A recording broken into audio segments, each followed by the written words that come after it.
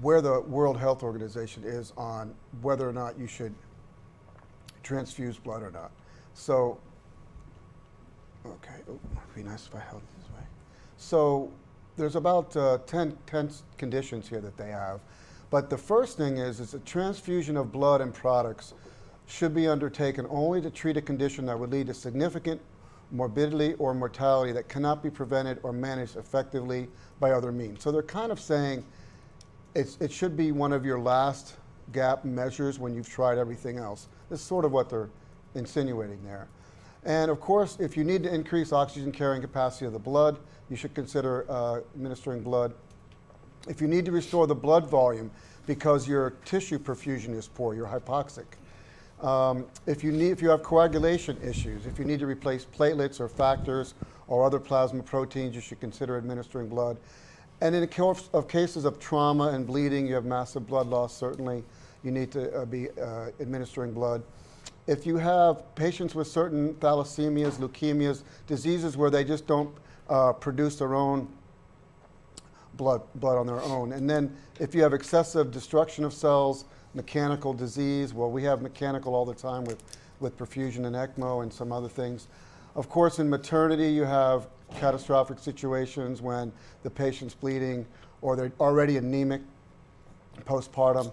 And then in the age group of 5 to 29, I found this interesting because we consider this our healthiest, probably our healthiest group of age category, but they look at it as a vulnerability in, in this age range because of first because they're young and they may not be uh, eating eating properly, but also because of their high activity and their and their propensity to um, be a high metabolism, but also because of their propensity to get in accidents and mm. and, and yeah, e easily uh, right easily have motor uh, vehicle accidents or even shootings. just even just yeah. on the playground and have something you know. Mm -hmm. So they the, the, found that interesting when I pulled this up that they that they look at that age group in particular. patients with chronic blood disease, of course, um, so perioperative transfusion, they look at eight grams per deciliter for patients undergoing cardiovascular surgery. They also include orthopedics and acute GI bleeding. So their cutoff is below eight. And this is who? Well, is the World Health Well, those health organizations uh, uh, their, guidelines. It's opinion. their guidelines, okay. Yeah, so, and if you have somebody with chronic anemia, it should be below seven somebody with an acute blood loss, if they're down to about 30% of their volume of blood loss. And that was pretty much the World Health Organization's guidelines on what they feel um, people should be considering when they, um, when they give blood. So I thought that was a good start for us to ponder some of these things. Yeah, I think all of those are, are, uh, are, are all very good points. Let me, let me, let me share this with you and, and give you some thoughts about this, all right? So when we think about blood, we think about obviously the oxygen carrying capacity and in the critically ill patient. So, you know, you've got all these these various different subsets of patients in the population that we deal with, right? So we've got the routine, otherwise healthy, well nourished, isolated coronary disease or valve disease or whatever. Maybe the person has uh, been playing golf or exercising routinely through their uh, life and they have a pretty good reserve. They, you know, my view is that person can probably tolerate a relatively low hematocrit uh, or hemoglobin um, and get through the operation. Their production is higher. They're gonna, you know, they, they're gonna just tolerate it better. But somebody who is more elderly, especially little women, who are fragile, who have um, underlying renal dysfunction, all the things, almost no reserve. I'm concerned because I hear people talking and people who profess, I won't mention names, but who profess to be transfusion management experts. You go to all these meetings. Right. We've all been there. And they stand up there all pompous that we don't transfuse until you've reached below six. Well, I mean, are, uh, are you nuts? I mean, I've seen too many times. I think that's insane. I think it is absolutely irresponsible to have these artificial thresholds. I think you have to look at any one individual patient, notwithstanding the risk and benefit balance that you have to have. What say you? Oh, I agree. I agree. You know, I just came from a conference and, you know, talking about restrictive transfusion and, and having that trigger. Um, you have to look, I mean, you can have that basis of, say, set, let's just say seven. You can, you can totally have that basis, but you have to look at the individual and their disease state. I mean, if you're, if you, like, like uh, John said, like if you have a mechanical issue or you have a weird disease state, that seven might not be the magic number, and you have to transfuse. So no, you have to look at every patient individually. Mm-hmm. That's how I feel. John? Yeah, I have s- a lot, lot to say about this. And um, back in the old days, Joe, back in the old days when, when you were around and I was around, I I found something interesting is that if the patient, while we are on bypass or coming off bypass, needed blood, it was always give two units. Nobody ever said give one unit. No. It was always two units. Yeah, if you're going to give And one, wa- you may as well give two. I- I was I don't told- know that that's right. Now, now that's changed, but I'm, that's Yeah. why I'm going back because I want to progress. Going back, nobody ever said give one unit of blood, at least not to perfusion. It was always give two units. Right. And and so, one time I had a conversation uh, back in those days, and anesthesiologist said, uh, giving one unit's liability. That's malpractice. If the patient needs blood, they need blood. They just don't need a little bit of blood. So I always, I kind of stuck in my mind. Whether that was accurate or not, I don't know. But I remember him telling me that one time. And um, you flash forward to the future. Now, in 2017, I mean to the present, in 2017, I was at uh, a hospital, small town hospital, and uh, this is not a knock on any, anything, but they had one, one anesthesiologist in charge of a whole team of about a dozen uh, CRNAs. And they were, they were excellent. And they all did cardiac, and they did it all. But they had gotten to the point where their cutoff was I had to come off pump with a hemoglobin of nine. And if it wasn't nine, I had to give blood. And I found myself giving blood at, you know, 8.8 or even sometimes even if it was 9 we'll go ahead and give it anyway because we're going to get diluted when i come because they wanted the patient to be so stable is, is my impression that they didn't want to have to struggle managing the patient mm-hmm. when, after we came off bypass which you know i kind of have a little bit of issue with that because eh, eh, you know I actually made a note in the pump chart one day that I felt that this was inappropriate, but me giving the blood because That's it was the right it, thing to it was almost it was 8.9, Yeah. Mm-hmm. and they wanted him to give two units of blood. And then there was also many times when we did give one unit of blood, and I kept remembering back to the days when I'd heard that, you know, if a patient needs blood, it needs to be a serious reason. Was there was his point when he said, "Don't ever give one unit of blood because I think it's a liability." His point was patient needs blood, the patient should really need blood. Shouldn't be like, oh, well, maybe, okay, go ahead and give it. You know what I mean? The patient should be suffering either hypoxic, uh, serious volume depletion, poor perfusion, um, unstable cardiac wise, whatever the reason is, the patient should need blood. But not just sort of on the fence and, well, okay, go give it. You know, and give one unit, by the way. so um, those are the two things that came to mind when Rodell was just talking about. Um, what what is the rule out there? Is it set? Most of the time, I see I to be around seven. It's a fantastic question. I mean, you go to how many hospitals do you go to? you go to about eight different hospitals. Eight different hospitals. Mm, Well, seven now. Seven. Seven. I'm sorry, I had to throw that in there. Uh, but uh, uh, tell me, uh, uh, what's what's your experience? You work with a variety of different surgeons. I, surgeons. I want to say that um, Plus, you worked in the med center. I have, and um, for the most part, I think most institutes, you know, usually try to dictate um, when we want to transfuse blood, and sometimes, a lot of time, it's you know anesthesia's preference. So, um, and you know, obviously, at the end of the day, you know, it should be a relationship between anesth- anesthesiologist, perfusionist, and the CV surgeon, you know, managing all this. Um, but I want to say the ballpark is probably usually between seven and eight. That you know, seven would be probably like a borderline cutoff where we would actually be very concerned with coming off bypass with a hemoglobin lower than seven. Um, obviously, you know, you can run into all kind of issues coming off bypass, um, and you know, post CPB not having you know adequate you know hemoglobin. Um, you know, you know, you have less red cells. You know, hypoxic, hypoxemia. You know, hypovolemia. Um, having to deal with you know uh, hypertensive, you know, issues due to, you know, secondary to, you know, being anemic. You know, sometimes that can be an issue. And then, you know, obviously you don't want to treat those things with just pressures and then, you know, let your kidneys take a hit. You know, Right. Yeah, because anemia, hypoperfusion, or, or, or hypoperfusion from the sense of an inadequate delivery of Right. O2, as you had have already taught us uh, in some of your earlier lectures, the kidneys are extremely sensitive to that, very vulnerable to a decrease in uh, uh, DO2. And of course, you know, I mean, I think those are all good points, but uh, what's your perspective on individualization? In other words, we have this number, but why do we have these? I don't understand why we have arbitrary numbers. And have you, has it been your experience that the the number itself is the trigger, or is it the number as it relates to the case I'm doing right now? Exactly. I think it's very patient specific. I think you have to look at everything.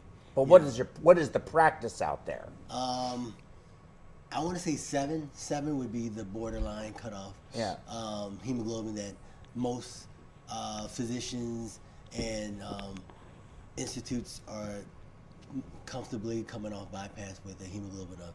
And then obviously, you know, usually we can give back a, a couple of cell saver units and Right. that'll get our hemoglobin up. So um, I think, you know, at the end of the day, you have to be diligent of uh, trying to transfuse, but at the same time, you need to treat it depending on the scenario and the patient's case. And if that's going to affect the patient and um, benefit the patient in the long run. What's your experience in these hospitals? Is it an arbitrary number or is it the number as it relates to that moment? It's the latter. It's definitely the latter for me. Mm. And who's to say that for you, but what about for, me. the other people you work with? The other stakeholders, the, other stake- anesthesia, yeah. the surgeons. What is your what is your sense of that? it's usually the latter, and we always have a conversation. We always have a conversation. I have a conversation with the CRNA or the anesthesiologist, and even the surgeon. You know, I, I, you know, I always address the surgeon like, Doctor So and So, this is my hemoglobin, this is my hematocrit, but I have this to give back. I can hemoconcentrate. I can do everything I can before we even have to transfuse. I mean, these guys are, you know, their feet are to the fire when they have to transfuse. Their Yes. STS numbers are dependent upon this. You know, their their their scores and and their ICU um, stays are dependent upon transfusion. And I see it, I see it all the time. And, and actually, um, one of our hospitals, um, compared to the other hospitals in the Houston area, had the lowest um, transfusion rates, and that surgeon was very proud of that. Um, and he does some complex surgeries. I mean, that, that compared down to the downtown area. So that, that's saying a lot. Yes, And totally. he's and he's pretty restrictive with with his transfusion, and he is all about the the the science and everything you can do without transfusing. Very restrictive. Okay, hold on one second. It- Do I need to tell people? I thought they have they have a new change already. Oh, okay. So, everybody, if you haven't noticed, the phone line that I've been number I've been giving you is not accurate. So um, now it's the new number is up 713-505-0486. So if you've been trying to call in but the phones haven't been working, uh, that's why. So it's up. But I think those are all very good points. But I don't know that, you know, I, I mean, I think it's important to be, pr- I don't have a problem with them being proud of having the lowest transfusion numbers in the community where they work. I think that's okay. I don't necessarily think, however, that that's always the best for the patient when that's your goal. I think your goal should be to only transfuse when needed. And I'll tell you this besides oxygen delivery, what else does hemoglobin provide? Well, it's our number one buffer. So, do we want to have, you know, a problem for the patient to manage their own acid base balance because of low hemoglobin, low buff- buffer? Um, and of course, it's very strong. It strongly contributes to the overall uh, oncotic pressure that you need within your blood in order to not third space. And so, you know, uh, but then of course tools like ultrafiltration, we've got we're embattled with that. I don't know if other people have had this experience where there's actually people now trying to write papers that say that ultrafiltration ca- during bypass causes uh, renal failure. I think that's kind of crazy.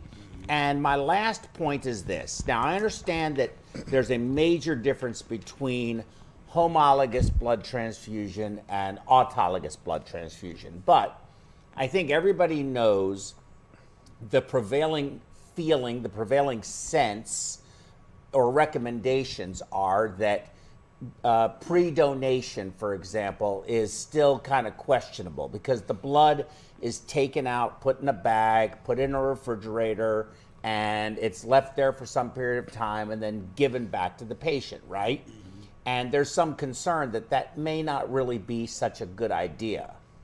But it worked really well for Lance Armstrong. okay? So there has to be some validity because he had to have put that blood in the bag and then waited until he replenished that supply, which is going to take a bit of time. It's not going to happen overnight.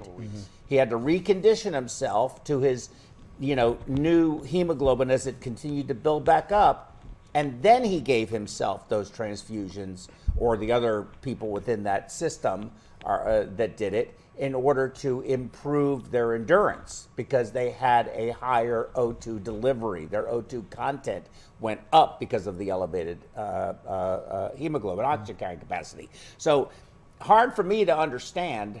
You know, again, that's not the same as allogeneic blood where you're you have the risks of transfusion reaction, cross match, mismatch, you or, or, or mismatch of your type and cross.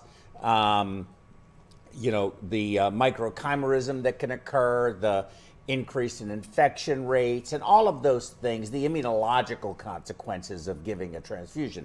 I do understand it's a concern, but at the same time, there are so many bad things that happen to patients when they have to struggle Right. to deliver enough oxygen to their tissues. John, you wanted to say something. I kind of monopolized yeah, I that. wanted to talk about what Rodell was saying a minute ago. Um, the the the the, Oh. uh, the STS. Go ahead. You have a question. I have one question. I'm sorry. In my limited experience, this is from Nestor. In my limited experience, I have found with regards to transfusion, every patient is different. Surgeons will listen to the recommendations of a trusted, experienced perfusionist. I think we agree with that. A good surgeon will. Okay? A good surgeon. Mm-hmm. Right. Because there are surgeons mm-hmm. still that exist that don't want to hear anything from anybody. Mm-hmm. They know everything. And we must be comfortable with our devices and experience when giving recommendations. That brings up iStat versus Exactly. I a was gonna make that point. co-oximeter or a spun Yes. uh, spun crit. So that's a whole nother Yeah. discussion. John, forgive me. I wanted to get that question in for Nestor. Good question, Nestor. Yeah, good point. Please forgive me. Um, so when you, the perfusionists, in my in my opinion, find ourselves in a very unique position when it comes to this, because you were talking about the STS and the surgeons in the hospital wanting to have their numbers uh, favorable, and that is uh, admirable if you're using low amount of blood products and your your numbers are good. It's not if you're using low amount of blood products and your numbers are bad, right? right. So they're torn between if I give the patient blood, he'll he'll he or she may have a much better outcome. But if I don't, then my and does well, then my numbers are good on it. So they're kind of on two sides of the fence on on what, what's going to happen with their STS numbers, right? But but going to that same point, perfusionists I think are the only ones in the medical field that find themselves in this position. We're on bypass. We have a certain hemoglobin. The patient's not yet unstable because we're, we're supplying their oxygen needs. They're getting ready to go on their own.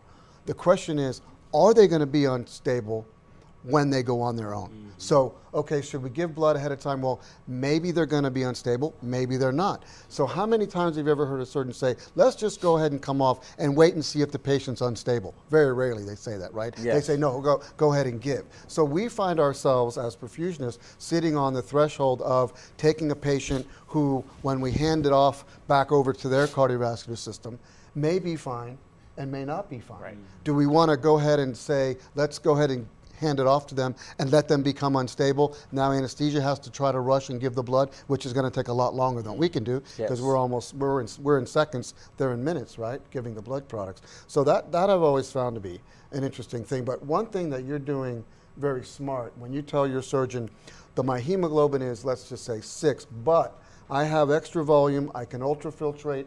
You're giving him or her uh, tools and reasons to think that okay, we're not stuck right here. We're going to get better. Let my perfusionist take me there. Then we'll come off, and then we'll see. Right. So um, I think that uh, it becomes a little more complicated when you don't have the volume. You can't say Right. that, but but then there are surgeons that don't want to hear hear it anyway. When they hear hemoglobin of X, it's or anesthesia, same thing. When they hear Right. hemoglobin of, and most of the time, if it's a number under seven, they don't. Hes- no, most people don't hesitate. Right, but But- that's but the that worst does thing not- Mm-hmm. you can do if you've got three liters in your reservoir on a patient that isn't going to need it all to come off. Right. Right. You know, I mean, you, you know, if you come if you come off and you have, and now you have to send it to the cell saver, or I guess you could use the hemobag.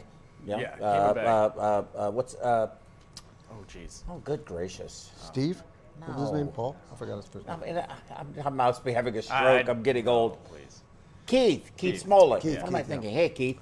I'm sorry about that, man. But uh, you know, the hemobag, or we can Right. just make our own, which we've done before. You know, we've all done it. Um, I've come off pump before and ultra filtrated my reservoir, and then chased. So I'm giving high hematocrit, high uh, plasma content, or you know, essentially just you know, uh, uh, uh, low, yeah, low plasma water. Right. I've just muffed the circuit Sure. though. Right. And uh, and that seems to work really well. It does. I always do that. If I have enough volume and left, and then um, I can see that they are not needing any volume right now. You know, Oh, PA pressures, everything looks stable. Right. Pressure looks stable, and you know, I mean, I have like three minutes, four minutes. I mean, I can easily take down 200 of that, you know, and concentrated. And while I sit in my reservoir, while they're, they're still waiting for the protein to, to go in, while they're waiting to see a reaction to the pressure. then once they do need some volume, I know that volume that's going in has been concentrated because I just muffed it. Yeah, absolutely, takes only minutes. exactly, and it doesn't take long at all. Exa- especially if you have a good VM concentrator Mm-hmm. and you hook it up to vacuum. So we've got Jeff Campbell called in. Jeff, how you doing this morning? Good. How are you? Who is this? Jeff Campbell. We can't hear him. Can Jeff Campbell, University of Toledo Medical Center. Here, it's kind of. It sounds kind of. Uh, Muffled. sounds horrible. Hey Jeff, go ahead and talk. Try talking. Yeah, um, I'm just going to chime in on the current topic. So, I mean, I agree with the panel. I think um, these blood transfusions, I think you have to look at it as a liquid transfusion. And there's a lot of um, a lot of articles that show the, the uh, consequences of, of transfusing blood, the cardiac surgeon, for plenty about that. Actually, I worked with a surgeon for a long time, Dr. Thomas know. very well published on the subject. And so is the increased morbidity and mortality with um, not only low hematocrit on bypass, but also the use of blood transfusion on bypass. And the two combined exaggerate the um, effect. So uh, low hematocrit's bad, blood transfusion is bad, when you do both, it's even worse. Um, with that said, I think, you know, you have to look at each patient, each case independently. You just can't transfuse off of a number. So if you have, sometimes I have a patient, they have a hemoglobin of six, and all parameters look fine, SBSP is fine, pressure is fine, not having to give any, uh, alpha agents, keep pressure up. Um, cerebral oximeter is fine. Some, in situations like that, we'll just we'll just keep the hemoglobin at six, not transfuse.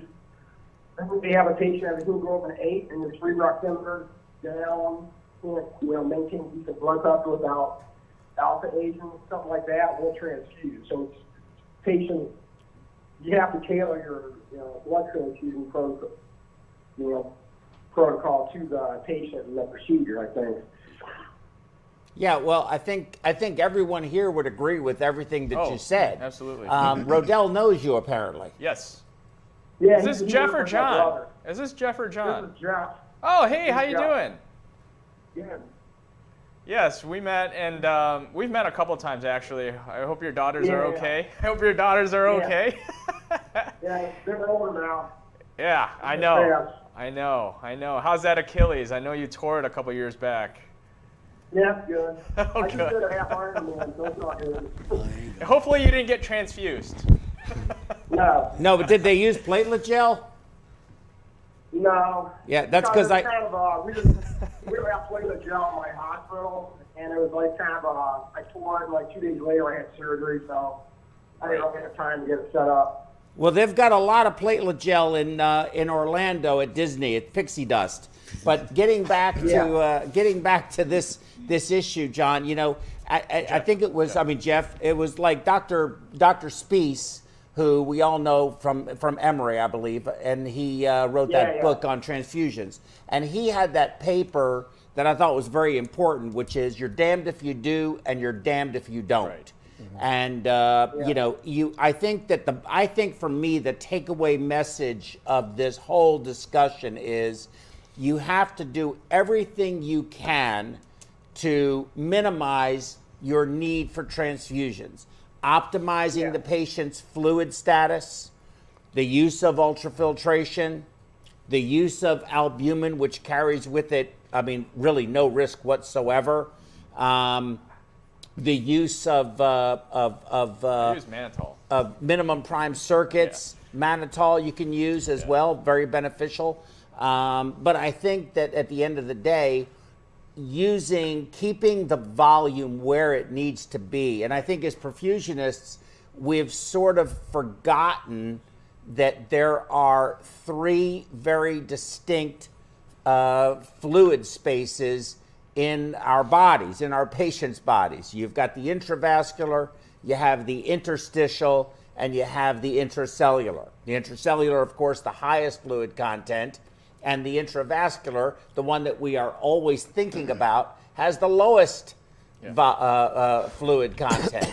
and I think that we need to be better at checking the microvascular, microcirculatory system, which I don't think we do a good job of.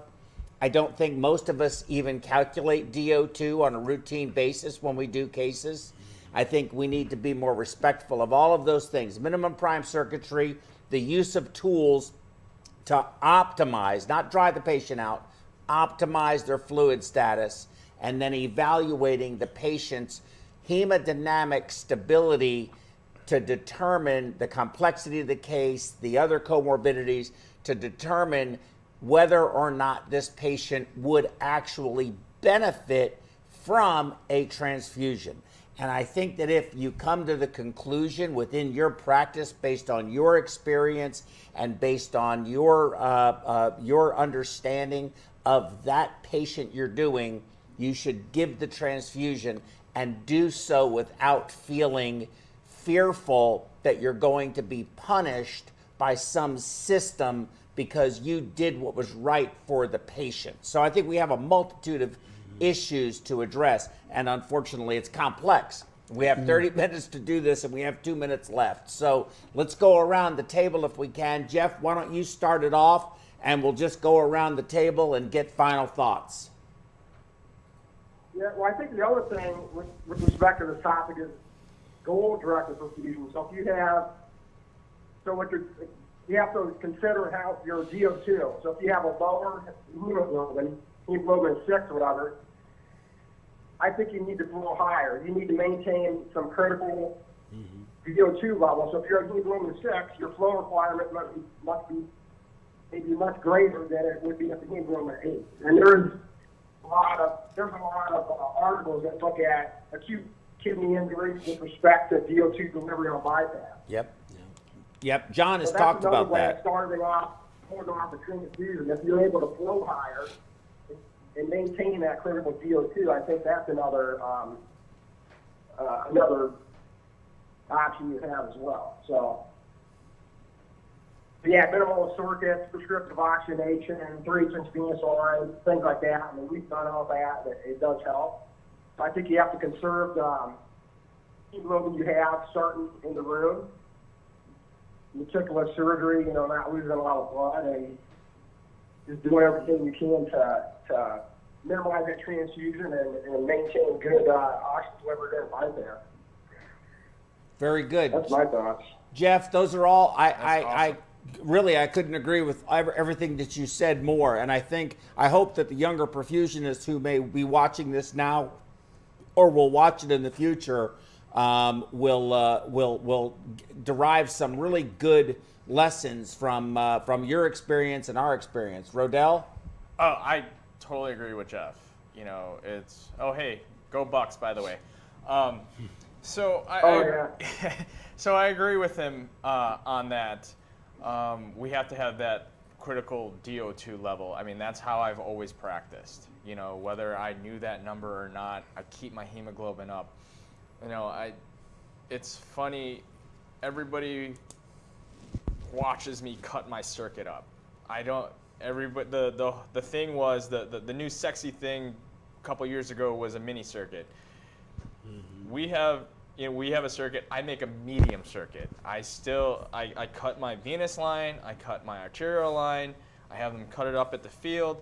So when I RAPP, it's minimal detriment to the patient. So mm-hmm. that's how I keep my hemoglobin up, on top of my oncotic drugs, on top of my hemo concentration, on top of me talking to the anesthesiologist or CRNA, hey, can we cut the, uh, you know, that one liter of lactated ringers that, that does not have to go in? This patient's fairly stable. It's an isolated cab. You know, they're not struggling. It's not a left main. It's not aortic stenosis who's, you know, um, you have to worry about any hypotension at all. Right. Right. So that's not dependent on volume. So Right. again, I'm trying to find that, that critical DO2 level and staying with a high hemoglobin. I agree with everything you said, with the exception of RAPP. John, I think uh, from a historical perspective, something that people forget about, Joe, you may remember this, but if you go back way before there was any uh, immunosuppressant drugs and they wanted to experiment and they were doing transplant, organ transplants, what they gave patients to suppress their immune system was blood. That's what, that's what they would give people to suppress their immune system. I didn't know that. Yeah, that's that. That was when. If you go back before, uh, what is it, cyclosporin or whatever the anti. Yeah. Okay, if you go back before that, which I think only was invented, came out in the late 50s or early 60s. They were doing organ transplants before that, and they were being unsuccessful. They would give patients blood to suppress their immune system. We've long since forgotten that that's a negative of, of giving patients blood and that's a problem. and and one of the many. But but I think you know what Rodell says is great, and I think of all of us were basically looking at preventing getting to that low hemoglobin in the first place, doing whatever you can do, planning out ahead of time. And I remember one time I had a uh, listened to a lecture and at a meeting, and someone was talking about this very same thing, and someone stood up and asked a question and said, "Yeah, you know, we do all this."